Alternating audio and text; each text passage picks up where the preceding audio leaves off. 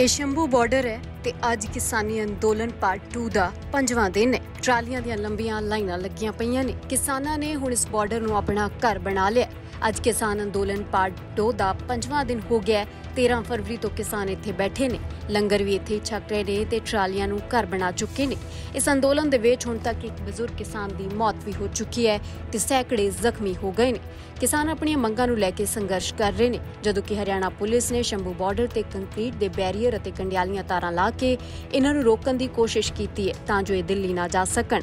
ਹੱਦਾਂ ਤੇ ਸਖਤ ਬੈਰੀਕੇਡਿੰਗ ਹੈ। ਪੁਲਿਸ ਕਿਸਾਨਾਂ ਨੂੰ ਰੋਕਣ ਲਈ ਹੰਝੂ ਗੈਸ ਦੇ ਗੋਲੇ ਵੀ ਸੁੱਟ ਰਹੀ ਹੈ ਜਦੋਂ ਕਿਸਾਨ ਬੈਰੀਕੇਡ ਵੱਲ ਨੂੰ ਵਧਣ ਦੀ ਕੋਸ਼ਿਸ਼ ਕਰਦੇ ਨੇ, ਤਾਂ ਪੁਲਿਸ ਹੰਝੂ ਗੈਸ ਦੇ ਗੋਲਿਆਂ ਦਾ ਇਸਤੇਮਾਲ ਕਰਦੀ ਹੈ ਪਹਿਲੇ 2 ਦਿਨ ਤਾਂ ਕਿਸਾਨਾਂ ਨੂੰ ਰੋਕਣ ਲਈ ਹੰਝੂ ਗੈਸ ਦੇ ਗੋਲੇ ਖੂਬ ਦਾਗੇ ਗਏ। ਫਿਰ ਤੀਜੇ ਦਿਨ ਮਾਹੌਲ ਥੋੜਾ ਸ਼ਾਂਤ ਹੋ ਗਿਆ। ਪਰ ਚੌਥੇ ਦਿਨ ਇੱਕ ਵਾਰ ਮੁੜ ਤੋਂ ਹੰਝੂ ਗੈਸ ਦੇ ਗੋਲੇ ਦਾਗੇ ਗਏ ਤੇ ਅੱਜ ਪੰਜਵਾਂ ਦਿਨ ਹੈ। ਕਿਸਾਨ ਹੁਣ ਐਤਵਾਰ ਦਾ ਇੰਤਜ਼ਾਰ ਕਰ ਰਹੇ ਨੇ, ਜਦੋਂ ਸਰਕਾਰ ਦੇ ਨਾਲ ਚੌਥੇ ਗੇੜ ਦੀ ਮੀਟਿੰਗ ਹੋਏਗੀ। ਇਸ ਤੋਂ ਪਹਿਲਾਂ ਤਿੰਨ ਗੇੜ ਦੀਆਂ ਮੀਟਿੰਗਾਂ ਹੋ ਚੁੱਕੀਆਂ ਨੇ।